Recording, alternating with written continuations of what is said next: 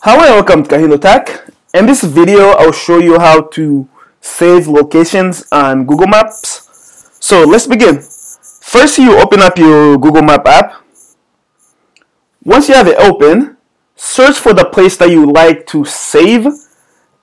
Uh, let's say if I want to search for, uh, just ignore that for a second. Target. Let's go to Target and then find the location in within the result. So find your right location. I don't know what your location is, but just find the location. Once you find the location, look at the bottom of my screen. You see where it says target? To the right of that, there's like this little gray bar. Put your finger there and slide it up. So put it there and slide up. And it does that. It brings up the target location information. Do you see where it says save on the upper on the upper part of my screen?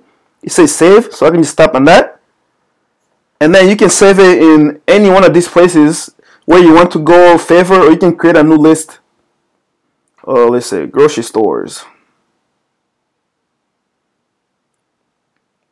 Grocery stores. And there. So I've saved that in the in my grocery stores list.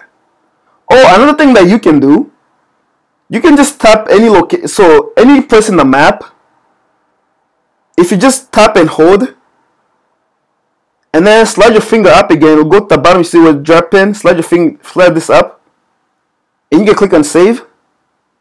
And as you see I can just put it in my grocery list stores list again like that. So